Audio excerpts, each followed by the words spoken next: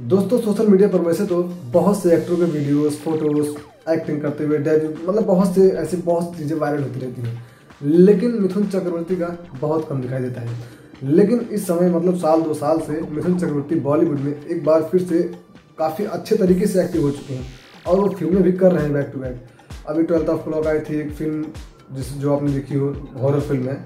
आठ जनवरी को रिलीज़ की गई थी फ़िल्म। अब आगे आने आने वाली भी कुछ फ़िल्में हैं, जैसे कि द कश्मीर फ़ाइल। कुछ सीरीज़ की भी शूटिंग कर रहे हैं और शो में भी दिखाई दे सकते हैं आगे। तो मतलब कि चल रहा है। मिथुन का भी बॉलीवुड सफ़र एक बार फिर से चल रहा है।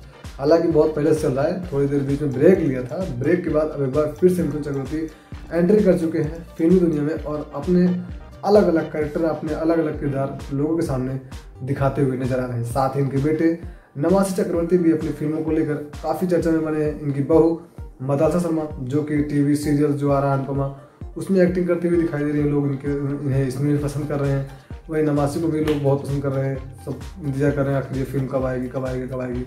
हालाँकि ये फ़िल्म आएगी, बहुत जल्द आएगी। खबर के अनुसार तो कहा जा रहा है कि भाई पाँच मार्च को आएगी और देखते हैं पाँच मार्च दो हज़ार इक्कीस को आती है फ़िल्म आती है। लेकिन कि इस जानकारी में, इस वीडियो में आपको ये बताने वाला हूँ कि मिथुन चक्रवर्ती का एक वीडियो सामने आया है।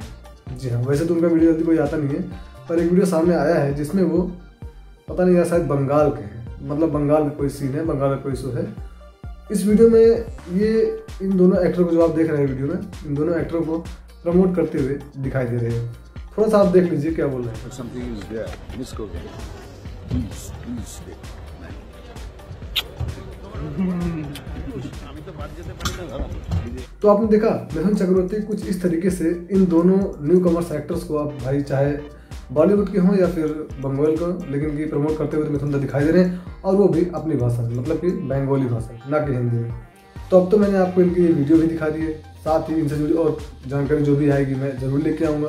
फ़िलहाल आप बताइए, आप क्या और जानना चाहते हैं मिथुन चक्रवर्ती के बारे में? इनकी फ़िल्मों से जुड़ी कोई बातें जानना चाहते हैं? इनके बेटे से जुड़ी कोई बातें जानना चाहते हैं? या इनकी बहू या बेटी, किसी के बारे में भी कोई जानकारी अगर आप चाहते हैं तो प्लीज़ अपनी राय कमेंट में ज़रूर बताइए। हम कहीं से भी रिसर्च करते हैं, खबर निकालते हैं और आपके लिए लेकर आते हैं, खासकर मिथुनता के लिए। मिलते हैं नई वीडियो में, नई जानकारी के साथ।